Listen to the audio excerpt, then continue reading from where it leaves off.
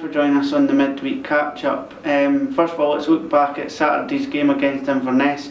A good victory up in the Highlands, and you must have been delighted to get a start as well. Yeah, 100%. Uh, obviously, it's been difficult for myself and the team, but uh, for myself personally, because I've not played the last maybe two months or so, so I've been desperate to get back in there any way that I can, and obviously I've done that on Saturday, but been playing on the right in the midfield, uh, and to get the win that really tops it off. It was a good away day, and I think uh, hopefully we can push on for that from now and as well as myself. Did you think that we deserved the three points in the end? Well, it was, it was a tough game. I, I think it's fair to say they were probably the better team in the first half. Uh, we had we did have a couple of chances near the end of the half, um, but they definitely dominated the ball.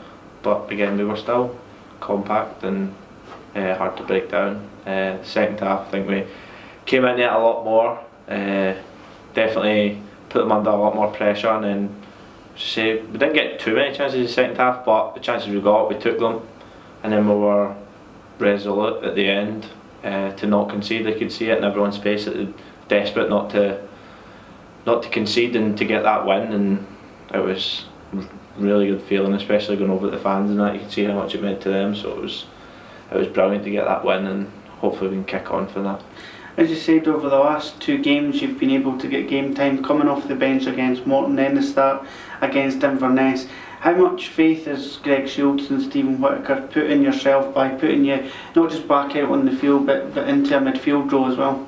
Yeah, uh, a lot. Obviously, I spoke to him a couple of times over the period that I wasn't playing, and obviously I spoke to the old manager as well about uh, playing time really and how disappointed I was, and Greg and Whitson, uh, obviously the old gaffer and that said that I deserved to be playing, and uh, maybe they thought maybe pushing me up one in the right midfield, and I was de definitely something I was wanting to do because put me anywhere I, I want to play. It doesn't matter. Um, so I'm I'm happy and uh, glad the faith they showed me put me in that position because I think I can do a job there. Uh, and um, hopefully can keep that up and keep going in the next few games and keep winning.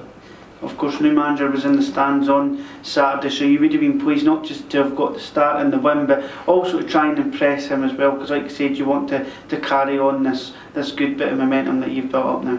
Yes, hundred uh, percent. I think that's the first thing that happened on the Friday when he came in. Came in, watched training. I think everyone's at it. Everyone's trying to show that they're a good player, show that they should be starting in the team, and show him that uh, they should be there moving forward for the team to push us up the league. Uh, 100%, that's obviously what we're looking for. And in terms of Saturday's game against Ayr United, um, we want to go on and, and get that first victory at home, of course, and, and try and build our way up the table and, and, and catch the teams above us.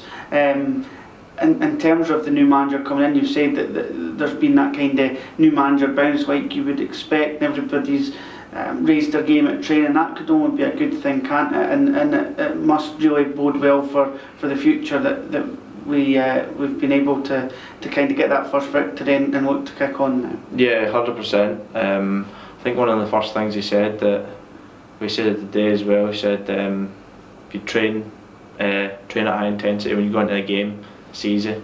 So I think today and yesterday and Friday the training's been really intense and if we keep that up then when you do go into a game the game should seem like a doddle. So yeah we're looking to kick on and I think uh, we looked at the table as well and I think if we win on Saturday we can go up to sixth or something.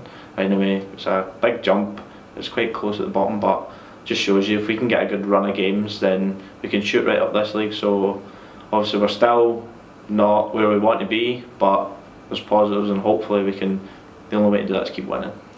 And you mentioned it in your first couple of answers regarding the supporters that travelled up on Saturday. Good numbers considering the, the distance, the time of year and the run form that we've been on. You'll be hoping for big numbers out here at East End Park on Saturday because they've uh, really stuck behind the team even though it's been a difficult start. So I'm sure yourself and, and the rest of the team will want to go and, and thank them for that with a, with a positive result. Yeah, 100%. Uh, the sport has been really good with us, obviously, because not been getting results and it's been a difficult period.